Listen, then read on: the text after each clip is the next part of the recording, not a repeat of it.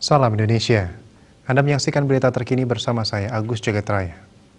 Sudah setahun sejak Organisasi Kesehatan Dunia WHO pada 11 Maret 2020 menyatakan wabah virus corona sebagai pandemi global.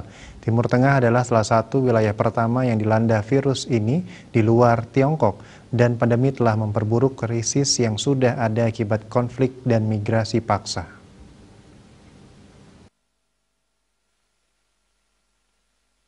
Iran mencatat infeksi virus corona pertamanya pada Februari 2020, salah satu wabah pertama di luar Wuhan. Dalam beberapa hari, Iran telah menjadi epicentrum global, sementara rumah sakit penuh dengan pasien. Menurut Behnam Ben Taleblu dari Yayasan Pertahanan Demokrasi, organisasi nirlaba yang berfokus pada kebijakan luar negeri dan keamanan yang berbasis di Washington, angka pemerintah Iran menunjukkan 60 ribu orang telah meninggal sejak awal wabah, tetapi jumlah sebenarnya kemungkinan jauh lebih tinggi. Ia percaya kesalahan awal oleh pemerintah menyebabkan banyaknya korban jiwa. Iran bersikeras telah melakukan segala upaya untuk mencegah perbakan dan membantah tuduhan menutupi jumlah kematian yang sebenarnya. Ketika WHO mengumumkan pandemi global pada 11 Maret, virus tersebut telah menyebar ke seluruh Timur Tengah. Di Yaman dan Suriah, negara-negara yang sejak lama dilanda konflik, pandemi menambah tekanan pada sistem layanan kesehatan yang rapuh.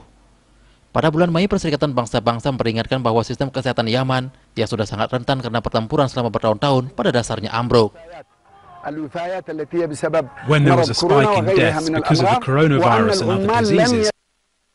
Hari Raya Idul Fitri yang mengakhiri Ramadan, Mei tahun 2020 lalu, dirayakan di seluruh negara muslim dengan sederhana, disertai aturan menjaga jarak sosial. Di Lebanon, krisis ekonomi dan politik semakin diperparah oleh pandemi dan ledakan di pelabuhan Beirut pada Agustus 2020 yang menyebabkan negara itu diambang kehancuran. Untuk mencegah penyebaran COVID-19, ingat pesan ibu, selalu terapkan 3M, wajib memakai masker, wajib mencuci tangan, dan wajib menjaga jarak, serta wajib menghindari kerumunan. Dengan penerapan perilaku 3M, Indonesia segera terbebas dari virus corona menuju Indonesia maju. Tetaplah bersama Bali TV. Salam Indonesia.